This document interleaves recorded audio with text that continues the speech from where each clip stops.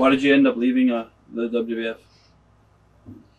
Uh, well, they brought me back after the rhythm and blues thing, and I, I did the finished up the Japan thing, and then he, and Vince brought me back, and it was really Hogan's idea to bring me back, but I went back to the blonde hair and stuff like that, and I started working with Dino Bravo, and um, worked with Dino probably about six months, and then build up to WrestleMania seven and I worked with Earthquake. Now I knew I was going to do a job with Earthquake because Earthquake had Jimmy Hart as my ex manager and everything like that. So you know, I you know I knew I was going to go down. I really didn't care. But when it came up to the point, I was supposed to have like a 12 minute match with him. You know, a decent long match. So they come up to me and Strongbow comes up to me and he goes, "We only got about four minutes." I go, "Fuck this! A fucking jabroni job match going out there. You know, that's Getting bullshit. So, yeah, squash. And I was, I, I fucking got really hot and I, I said I want to talk to Vince and they wouldn't let me talk to Vince. And, and I said, it's a bunch of crock of shit. And I almost just walked out. But instead, I went out and they, they ended up giving me about seven or eight minutes, I think it ended up being, but it was still pretty much a uh, jabroni match. I hated it. And I, right after that, that's when I quit. Now, how did you get into uh, WCW at the time? Um, well, my old partner, and not partner, but my old promoter, Jimmy Crockett, was still, still in there, and uh, I had called him.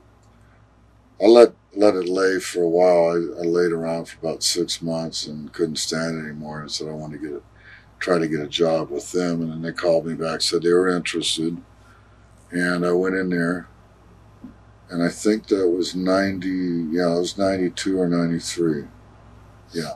What were your early impressions with uh, WCW, and how would you compare that locker room to uh, the World Wrestling Federations? Well, when I went in there, um, they teamed me with Terry Taylor, who, who was a gem of a guy too, a lot of fun to be around. So I was pretty, you know, relaxed with that. But there was a lot of guys in there that I didn't know at the time were on some heavy, heavy contracts, and they were just laying around, weren't even working. So that kind of like, kind of, you know, I'm busting my ass for seven hundred bucks a night or something. This guy's laying over here making five hundred thousand a year and not doing nothing. So you started hearing this kind of stuff. So there's a lot of there's a lot of dissension there. And then Watts came in, and uh, Watts came in and cut everybody's contract even down further, and then gave his kid a hell of a contract that couldn't even tie his shoes. so Erik Watts. So I came to TV studio one day and they wanted me to do a job for Sting on television. And I went to Dusty and I said, Dusty was a booker at the time. Watts was the was the vice president or whatever. And Watts wasn't there that day. I said, Dusty, you know, I mean, this bullshit. I go out and I'll do a job for Sting on just Sunday, whatever it was, Saturday night tapings or something. And I said, I don't want to do it. He said, Well, you if you don't want to do it, do you want to work? You don't want to work. I said, well, I don't want to work. So I left. That was pretty much it for that Yeah, time. yeah. Now you also worked for uh, Herb Abrams in the UWF. What are your thoughts on Herb? Oh, Herb. God.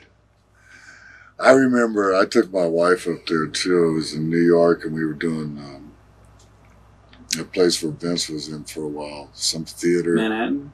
Manhattan Yeah. Center. Yeah, okay. Almost right across from the garden. Yeah. Next to the Penn, Penn Hotel. Yeah. And uh, we went in there and did some tapes, tapings. And Morocco was there, remember? Bob Orton Jr. was there. And uh, did some TV tapings. And he paid me pretty good for it and took us all over and partied and stuff in limo. and the next day, I went and had a meeting with Vince. I went up there and talked to him and, and got my job back to go back in there. So Herb hears, hears about it and cancels my check so I can't cash it. No. And I called him. I said, "This check's so good, you stopped payment." He goes, "Well, that's because you went up there and talked to him when you were working for me." I said, "That's bullshit. I did my job for you. I can go talk to who I want to."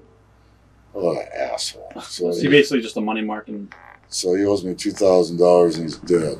right.